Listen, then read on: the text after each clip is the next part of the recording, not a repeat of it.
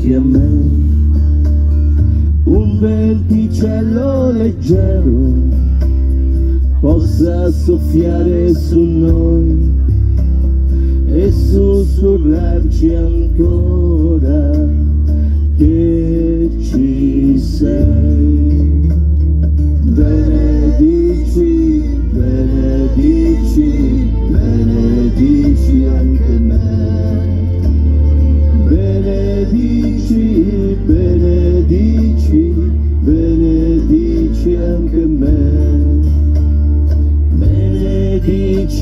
La terra, tanto aspettata d'amore. Benedici il cielo, tanto affamato di sole.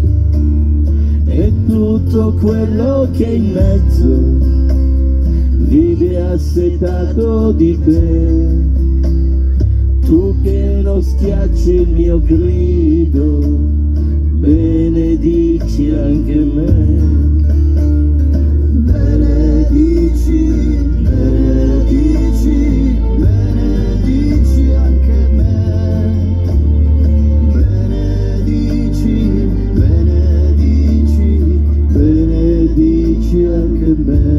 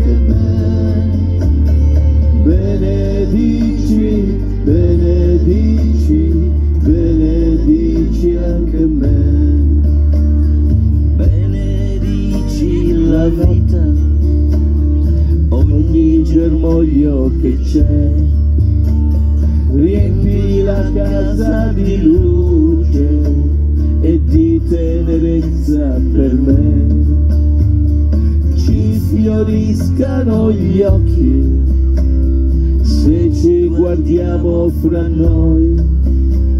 Spezza le nostre catene e appoggiaci a te.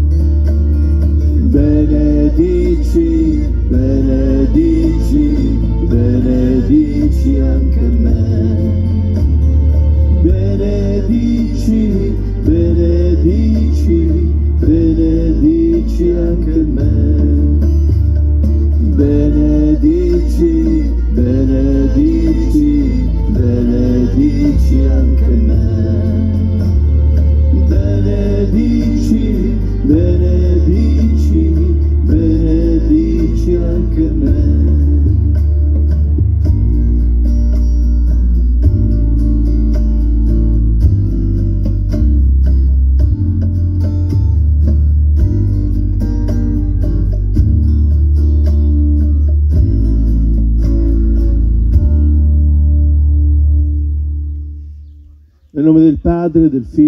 Spirito Santo.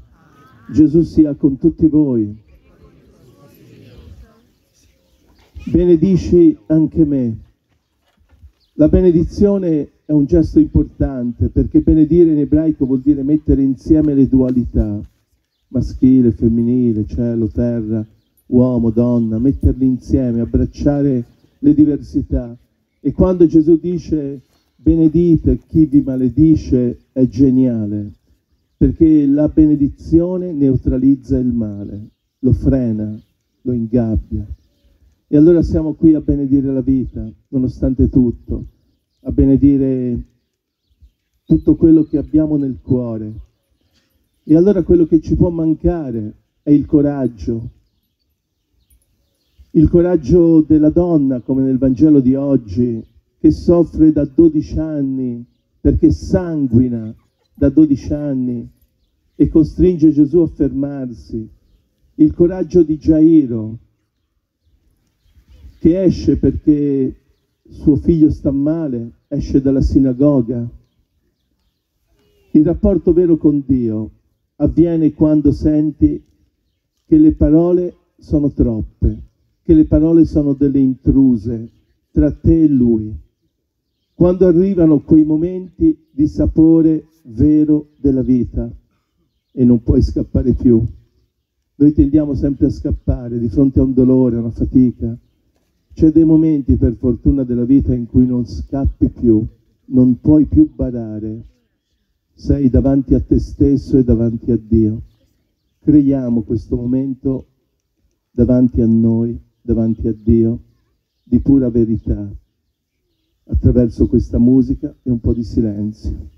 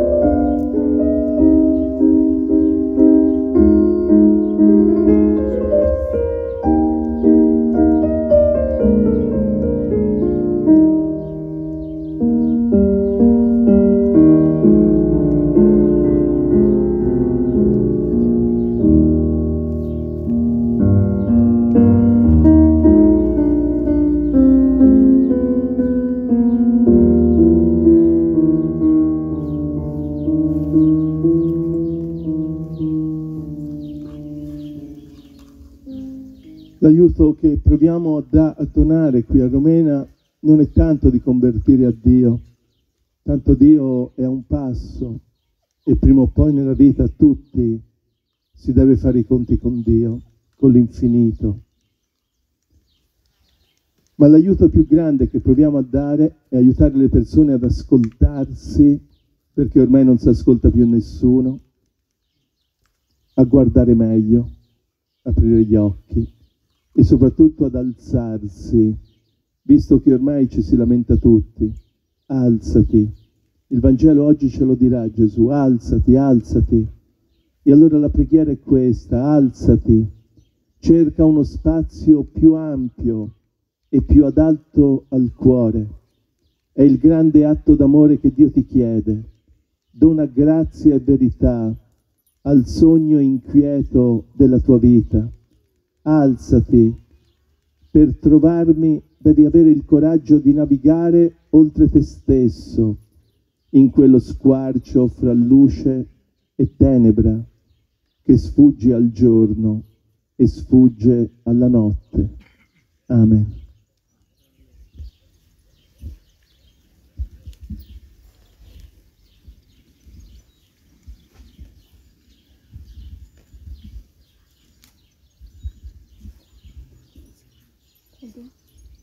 Dal libro della Sapienza. Dio non ha creato la morte e non gode per la rovina dei viventi. Egli infatti ha creato tutte le cose perché esistano. Le creature del mondo sono portatrici di salvezza. In esse non c'è il veleno di morte, né il regno dei morti è sulla terra. La giustizia infatti è immortale. Sì, Dio ha creato l'uomo per l'incorruttibilità. L'ha fatto immagine della propria natura, ma per l'invidia del diavolo la morte è entrata nel mondo e ne fanno esperienza coloro che gli appartengono. Parola di Dio.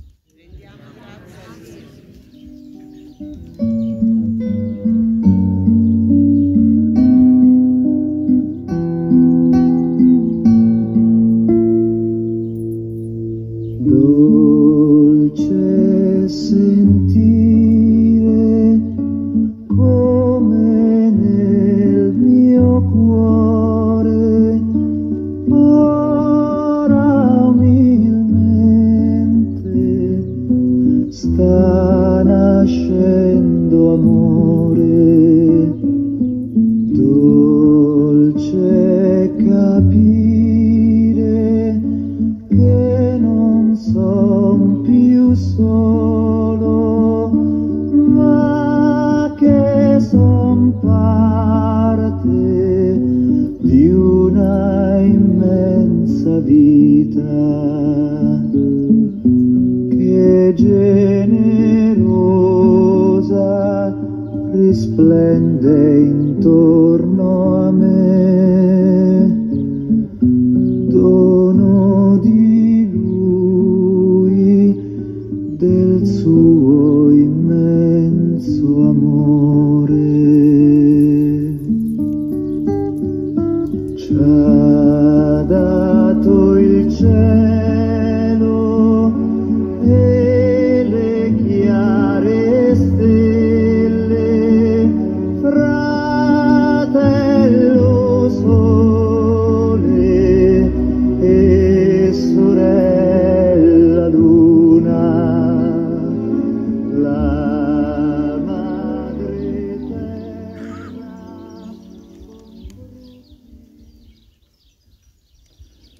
Il Signore sia con voi.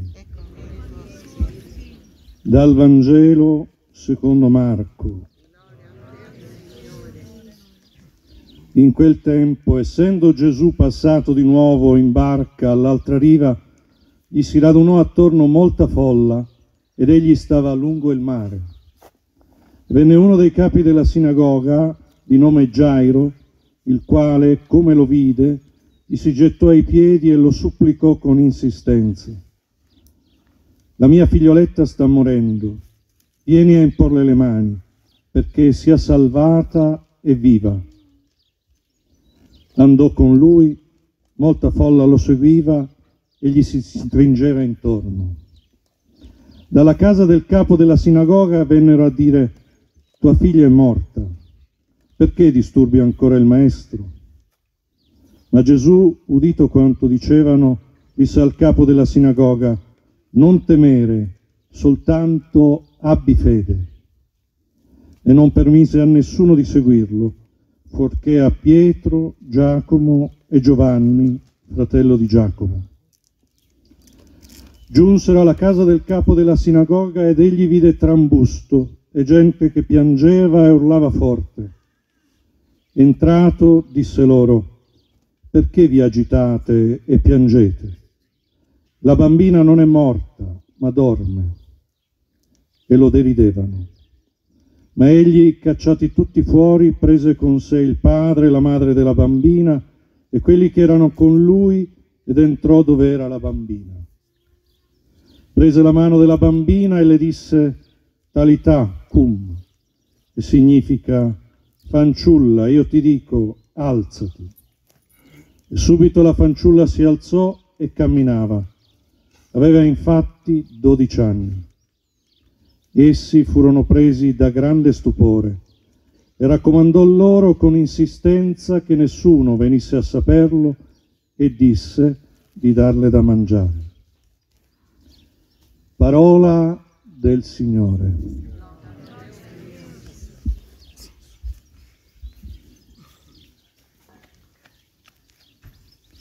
La prima lettura del libro della Sapienza diceva così, le creature del mondo sono sane, in esse non c'è veleno di morte. La nostra esperienza invece dice il contrario, che le creature del mondo e dei bambini muoiono a 12 anni, o ci sono persone che da 12 anni hanno un tumore, non riescono a vivere. Io credo che non sia la sofferenza a migliorarci. Molti dicono che il dolore fa crescere. No, non è vero nulla. Io ho visto famiglie distrutte nel dolore. Se dentro quel dolore non ci metti amore, ti distruggi. E allora non è la sofferenza a migliorarci, ma l'amore che accompagna questa sofferenza. Perché senza l'amore la sofferenza devasta le persone, corrompe gli ambienti, ingigantisce a volte gli egoismi. Ma le creature sono sane. Questo è un grande messaggio. Dentro di noi c'è qualcosa di sano e non ci attende la morte, ci attende la fioritura del nostro essere. La morte è illegittima. Gesù non ha amato mai la morte, non ha sopportato la morte come facciamo noi, non la sopportiamo. Ma Gesù ama non la morte, ma ama chi muore, ama chi sta vicino a chi muore, ama quegli ultimi gesti che le persone care ti fanno prima di morire, il darti un goccio d'acqua in bocca, il tenerti la mano.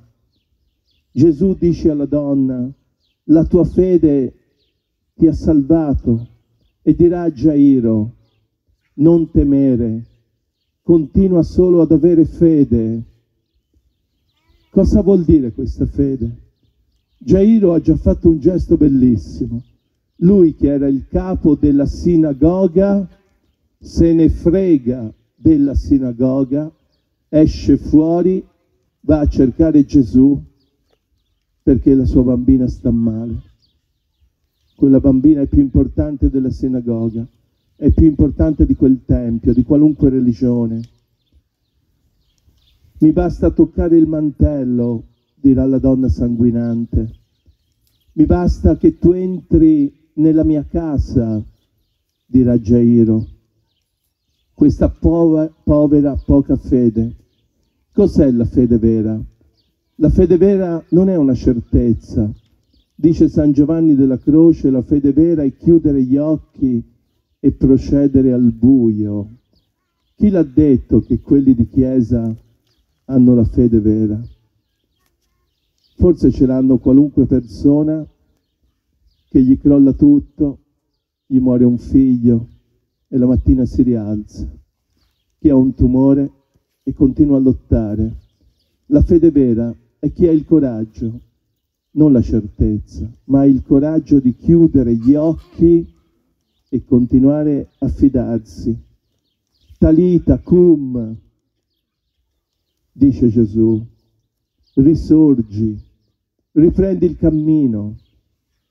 Vedete, in tutti quei genitori che noi avviciniamo, a cui è morto il figlio, a tante persone ferite, la cosa che mi stupisce è che queste persone avrebbero tutto il diritto di maledire la vita per come gli è andata male, che invece di maledirla continuano a portarla avanti. Quelli sono grandi, quelli hanno fede davvero. Risorgi, riprendi a camminare proprio da dove ti sei fermato e la forza di Dio è che ti aiuta a ripartire. Guardate, la cosa più bella che per me ha detto Gesù, vi ricordate quando tutto crolla, quando muore, quando rivede gli amici, gli apostoli, è dire ragazzi, ricominciamo. Quanto è bello chi gli è fallito tutta la vita e invece di dire è finita, dice ricominciamo. Questa è una grande fede. Gesù dirà alla bambina non è morta, dorme, Bello questo Dio che vede oltre. La tua vita non è morta, dorme. Bisognerebbe dircelo dentro di noi. La tua vita non è morta, non sarà mai morta, è addormentata. puoi sempre risvegliare la tua vita, puoi sempre cambiare qualcosa della tua vita e continuare a credere che nella loro radice, come diceva la prima lettura, tutte le cose sono buone. In esse non c'è veleno di morte, non le può uccidere nessuno. Dio è in noi come una presenza miracolosa che ci addita nuove mete di vita più intensa, di gioia più profonda. Alzati, cammina, oltre lo sconforto, oltre la malinconia, perché fuori del sepolcro, fuori di ogni sepolcro, c'è primavera.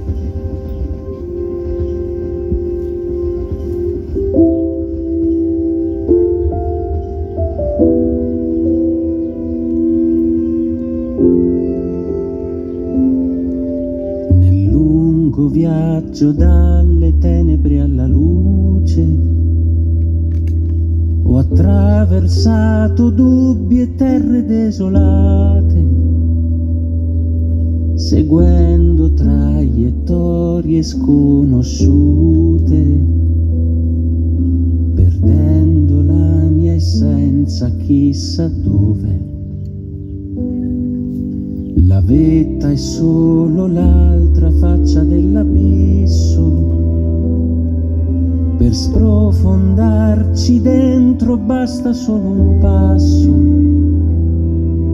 Ma quando ero sul punto di precipitare,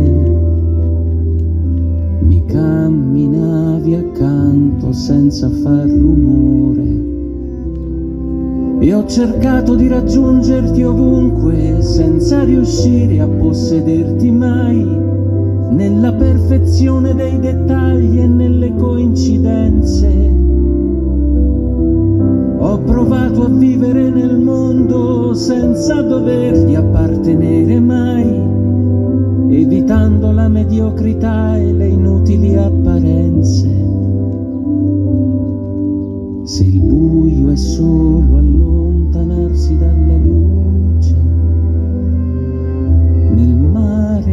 del silenzio sento la tua voce. Se tutto si trasforma in nulla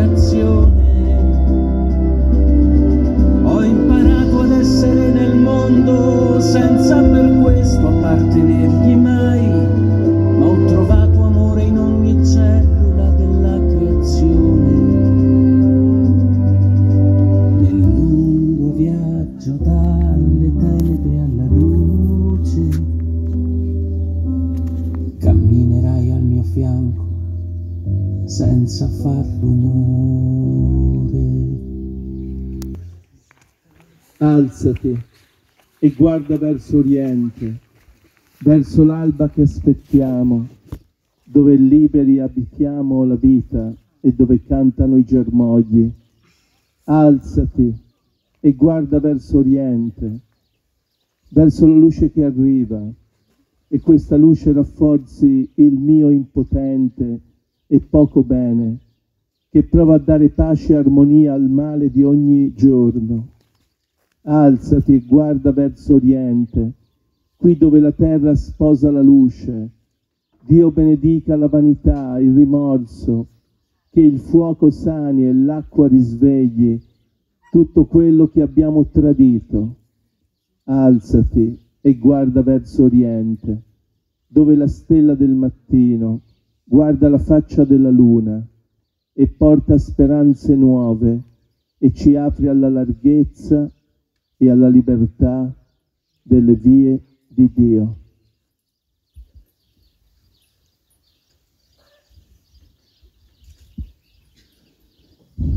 Concludo con quest'albero, con questa pianta. Le sorelle brasiliane, delle care sorelle che conosciamo da tanti anni, missionarie in Brasile, ci hanno regalato per i nostri 30 anni di Romena questa pianta. È una pianta di senape, vi ricordate il Vangelo? Il chicchino di senape, il più piccolino che esista, piccino piccino, ma che riesce a diventare una pianta così alta, dice Gesù nel Vangelo, che è la pianta più alta dell'orto e addirittura gli uccelli del cielo possono farci il nido. Vedete, non è una pianta di prepotenza, non è una quercia, è una piantina. E mi piace pensare che noi di Romena non siamo questa prepotenza di questo cedro, di questa quercia. Vedete, questa pianta di senape è la più, la più infestante di tutte. È come la zizzania, infila da tutte le parti. La trovi sparsa da, da ogni lato. Però è, è importante, perché da un piccolo seme può nascere una forza esplosiva che gira il mondo, che fa girare la terra. E allora pensiamo, ci siamo a volte molto piccoli, quasi un granellino di senape, ma abbiamo in noi una grande forza, quella di poter contagiare il mondo, quella di permettere almeno a qualche uccellino di farci il nido, a qualche persona di sentirsi a casa. E allora possa la via crescere con voi, il vento essere alle vostre spalle, il sole scaldare il vostro viso e possa Dio tenervi nel palmo della sua mano. Prendetevi tempo per amare, perché questo è il privilegio che Dio vi dà. Prendetevi tempo per essere amabili, perché questo è il cammino della gioia. Prendetevi tempo per ridere, perché il sorriso è la musica dell'anima. Prendetevi tempo per amare Dio, amare la vita, amarvi fra di voi e fra di noi, con molta, molta tenerezza, perché la vita è troppo corta per essere egoisti. Dio ci benedica tutti, Padre e Figlio e Spirito Santo. Io vorrei ringraziare Don Gigi per la giornata che ci ha fatto trascorrere qui a Romena come centro diocesano della famiglia della diocesi di Firenze, per la botta di vita che tu ci hai dato oggi, per la botta di libertà che tu ci hai fatto sperimentare e nulla, ti ringraziamo e sarà occasione anche di riflettere sulle cose che tu ci hai detto stamani, che ci hai detto oggi nella messa, ed è occasione anche per ritornare. Quindi viva Romena e viva Don, Don Gigi. Vorrei dire a quelli di Firenze di rimanere qui poi dopo la messa. E dopo il canto finale, quelli della comunione si fermano qui perché la nonna deve leggere due righe per suo nipote. Va bene?